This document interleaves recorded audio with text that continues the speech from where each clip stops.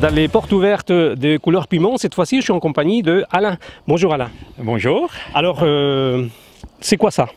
On peut appeler ça un vitrail. Voilà. Un vitrail, voilà, pardon. Un vitrail. Donc Voilà. j'ai essayé. je- alors, ce que je cherche aujourd'hui à faire, c'est sortir les vitraux des églises et faire des choses contemporaines pour les particuliers, pour leur intérieur, pour euh, donner de la couleur aux intérieurs et décorer les jardins, les terrasses, euh, voir le. D'accord. C'est comme un, un coup de jeune. Oui, c'est un comme jeune. Et puis voilà, donc après une formation euh, d'un an au Centre international du vitrail à Chartres, j'ai créé mon atelier. Donc c'est les vitraux de la Comté. Je me trouve à l'île sur le Doubs, euh, Ouais. près de Montbéliard. Voilà.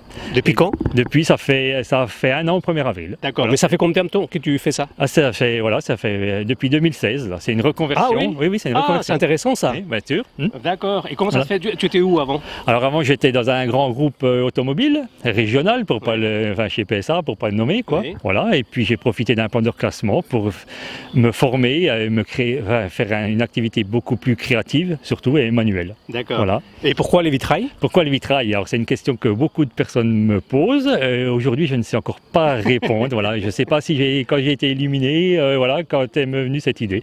Mais c'est vrai que le vitrail, j'aime beaucoup. Je n'avais jamais coupé un morceau de verre avant la formation, ni assemblé un vitrail. Ce n'était pas une activité que je faisais en loisir dans mon sous-sol, Ouais. comme euh, certaines personnes, voilà, peuvent faire. Et ça m'a pris comme ça, le vitrail, voilà. Et puis de, je regrette pas du tout. Ça m'a. voilà, Aujourd'hui, je me sens accompli dans ce que je fais. J'aime ce que je fais, et j'arrive à parler de mon travail, contrairement à voilà. D'accord. Oui, justement, c'était ma question suivante. Est-ce que tu regrettes Parce que là, c'est une passion. hein. C'est-à-dire que quand on a une passion, euh, c'est pas du travail. hein. Non, ah bah non, voilà, aujourd'hui je vais de bon cœur au travail, je vais dans mon atelier, et je vais plus reculons au travail. Donc c'est vrai que c'est une passion et puis voilà, c'est. Alors, euh, est-ce que tu peux un peu nous détailler ce que tu fais C'est des, des- des- des pièces d'art? Donc après, il y a des lampes également, j'ai vu. Oui, il y a des lampes là. Donc euh, je fais, bon, euh, à la base je fais des, des- je fais des vitraux traditionnels, je dirais, hein, le traditionnel au plomb, voilà, pour, euh, pour mettre dans les fenêtres, dans les baies, dans les portes. Je sais aussi restaurer les anciens vitraux dans les églises, dans les cathédrales, ça je sais, voilà, ça je sais faire.